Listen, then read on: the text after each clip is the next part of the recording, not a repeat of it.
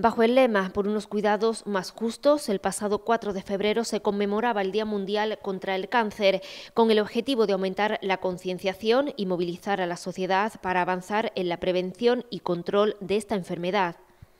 La Junta Local de Aracena se sumaba iluminando de color verde la Plaza Marqués. Sí, eh, buenas tardes. Sí, hoy es el Día Mundial del Cáncer y como bien dice, pues cada vez afecta a más personas, ahí están las estadísticas, pero también cada día se curan más.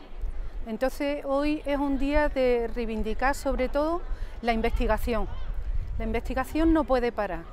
La investigación está en manos de los gobiernos y también en manos de todos nosotros, ¿eh? porque con nuestros donativos pues se van consiguiendo apoyar eh, pequeños proyectos de investigación.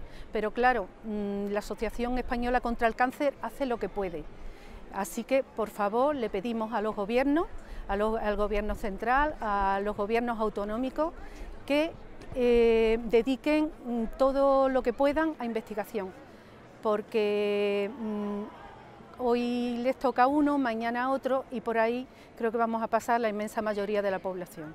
Eh, vamos a hacer, ahora vamos a hacer el acto propiamente dicho, eh, entonces pues estamos aquí en la Plaza Marqués de Aracena y queremos pues eso, em, que la gente que está por aquí dando un paseíto, tomándose algo, pues que nos vea y que sepa que estamos aquí. Estamos aquí para todo el que lo necesite.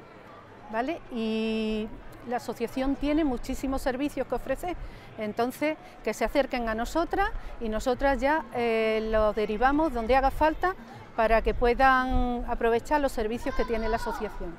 Globos y pancarta verdes para apoyar esa necesidad de avanzar en su investigación, prevención y control.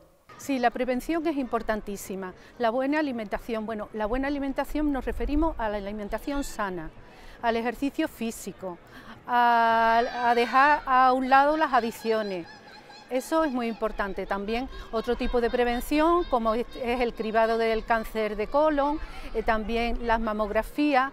Eh, pero en eso mm, yo creo que ya toda la población está bastante concienciada eh, y creo que también mm, no solamente a la población hay que pedirle el esfuerzo, también yo hoy estoy por pedirle a, los gobiernos que vigilen mucho ¿eh?